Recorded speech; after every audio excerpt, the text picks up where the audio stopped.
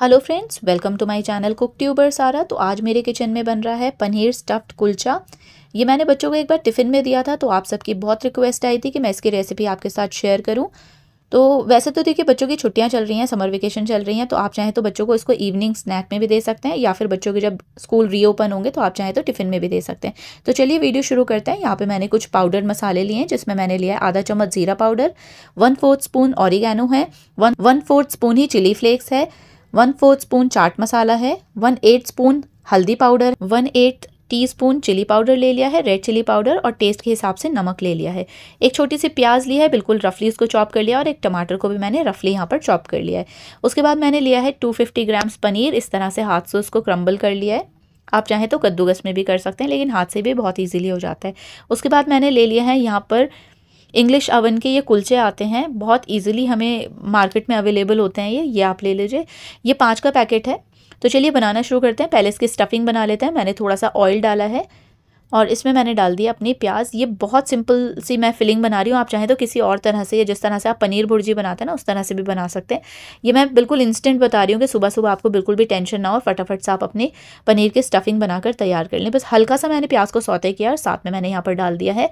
One fourth teaspoon ginger garlic paste, इसको भी बिल्कुल हल्का सा मिक्स करना है और साथ ही में मैं डाल दूँगी यहाँ पर टमाटर। और यहाँ पर मैंने डाल दिए हैं टमाटर। टमाटर को भी बिल्कुल हल्का सा भूना है, आप चाहें तो बिल्कुल फाइन चॉप करके भी डाल सकते हैं, उससे ये जल्दी गल जाएँगे। और साथ में ही मैंने जो मसाले आपको मेंशन किए थे ड्राई स्पाइसेस वो भी सारे डाल दिए अब यहाँ पर थोड़ा सा पानी डाल देंगे कि हमारे मसाले जो हैं वो जले नहीं और मसाले को बहुत अच्छा सा भून लेंगे जब तक ऑयल जो है वो ऊज आउट नहीं हो जाता।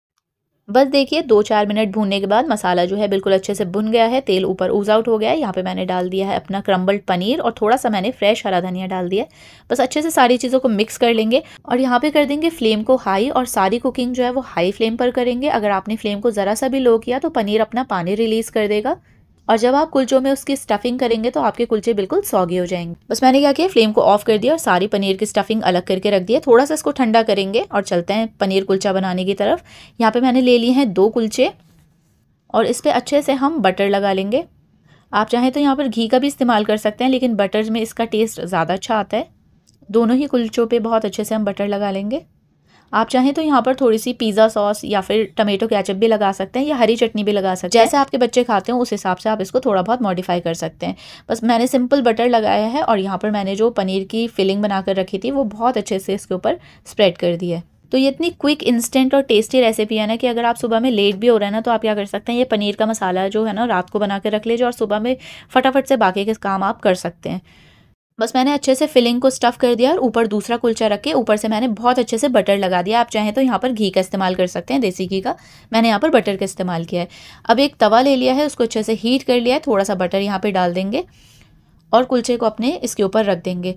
और बिल्कुल लो फ्लेम पर आपको इसको पकाना है कि अच्छे से क्रिस्पी हो जाए। तकरीबन आपको दो से तीन मिनट लगेंगे इसको पकाने के लिए। बिल्कुल भी फ्लिप नहीं करिएगा। दो से तीन मिनट के लिए बिल्कुल लो फ्लेम पर आप इसको पकने दीजिएगा। नीचे से बहुत अच्छा क्रिस्पी हो जाएगा। उसके बाद बस आप इसको एक बार फ्लिप करेंगे तो एक साइड से हमारा जो आप देख सकते हैं कुलचा बिल्कुल परफेक्टली पक चुका है। इसको दूसरी साइड से भी इसी तरह से पकाएँगे, इसको फ्लिप कर देंगे और बिल्कुल दो से तीन मिनट के लिए लो फ्लेम पर इसको पकने देंगे। बिल्कुल क्रिस्पी होने देंगे। और ये हमारा इंस्टेंट सा पनीर कुलचा जो है बनकर तैयार हो गया इसको प्लेट में सर्व कर लेते हैं और इसको दो पोर्शन में मैंने कट कर दिया है। बहुत ही टेस्टी बनता है। आप इसको एक बार ज़रूर बनाकर अपने बच्चों को टिफ़िन में दीजिएगा या आप इसको चाहें तो ब्रेकफास्ट में भी बच्चों को दे सकते हैं। मेरे बच्चों को तो ये बहुत ज़्यादा पसंद आया था और उन्होंने डिमांड करी थी कि मम्मी स्कूल खुल जाए, हम इसको एक बार फिर से टिफ़िन में लेके जाएँगे। तो ये थी मेरी सिंपल सी टिफ़िन रेसिपी अगर अच्छी लगे तो लाइक कर दीजिएगा और अगर आप चाहते हैं मैं इस तरह की और वीडियोज़ लेकर आऊँ टिफ़िन रेसिपीज़ की तो मुझे कॉमेंट्स में ज़रूर बताइएगा। मिलते हैं नेक्स्ट वीडियो में। थैंक यू फॉर वॉचिंग अल्लाह हाफिज़।